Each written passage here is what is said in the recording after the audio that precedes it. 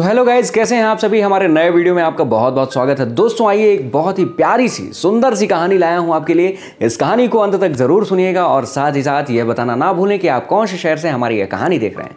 तो आइए शुरुआत करते हैं इस छोटी सी कहानी की। दोस्तों, एक बार की बात है। एक गाँव में एक बहुत ही धनवान सेठ रहता था। उसके पास बहुत पैसा था और वो हमेशा दान धर्म किया करता था, लोगों की मदद किया करता था। एक दिन की बात है हर रोज की तरह एक भिखारी वहाँ से निकला करता था। लेकिन उस दिन वह सुबह सुबह निकला और सीधा सेठ के द्वारे पर पहुँचा।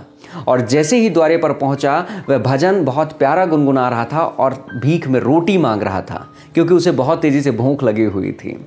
और सेठानी जब अंदर गई और अंदर जाने के बाद उसने कहा कि, रुकना, मैं तुम्हारे लिए रोटी ला रही हूँ, तुम भजन गुनगुनाते रहना, जाना मत।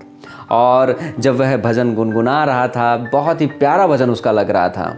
सेठ बैठे यह सब देख रहा था कि वह भजन भी गुनगुना रहा है बीच बीच में रोटी भी मांग रहा है कि, सेठानी, मुझे रोटी दे दो। और जो सेठानी थी, वह कहती थी अंदर से, रुको रुको, मैं हाथ में रोटी ली हूँ, आ रही हूँ।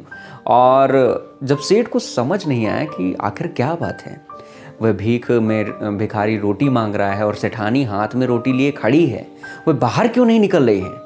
तब वह सेठ फ़ौरन अपनी पत्नी के पास जाता है और कहता है, मुझे तुम्हारी यह बात समझ में नहीं आ रही कि तुम हाथ में रोटी लिए खड़ी हो और बोल रही हो कि मैं आ रही हूँ, रुकना, तुम जाना मत।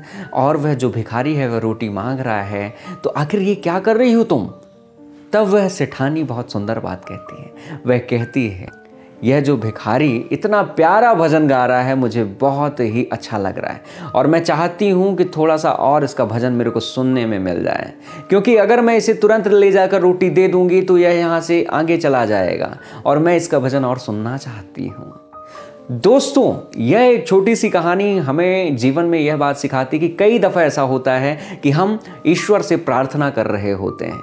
लेकिन हमें ऐसा लगता है कि हम बार बार ईश्वर से प्रार्थना करते हैं, लेकिन ईश्वर हमारी प्रार्थना नहीं सुनता। लेकिन नहीं, कई दफ़ा ऐसा होता है कि सेठानी की तरह उस ईश्वर को भी हमारी प्रार्थना करने का अंदाज, हमारी प्रार्थना अच्छी लग रही होती है। वो चाहता है कि और आप प्रार्थना करें। वो आपकी और प्रार्थना सुनना चाहता है। क्या आप दिल से प्रार्थना कर रहे हैं? वह सुनना चाहता है। तो दोस्तों, कभी भी भक्ति भजन मत छोड़िए। कहते हैं कि जीवन में दो चीज़ों को नहीं छोड़ना चाहिए। एक भक्ति और दूसरा भोजन। क्योंकि यदि आप भोजन छोड़ दोगे तो ज़िंदा नहीं रहोगे। और यदि आप भक्ति छोड़ दोगे तो जीवन में कुछ खालीपन खालीपन आपको लगेगा। सो so गाइज़ ये छोटी सी कहानी आपको कैसे लगी? कहानी अच्छी लगी हो तो इस वीडियो को लाइक कमेंट और शेयर और हमारी अगली वीडियो देखने के लिए ये यहाँ पे इंड स्क्रीन लगा हुआ है। अगर इंड स्क्रीन नहीं लगा हुआ तो हमारे चैनल में जाएँ और देखें एक बहुत ही प्यारी सी कहानी। दोस्तों, मिलते हैं अगले वीडियो में, तब तक के लिए बहुत बहुत शुक्रिया।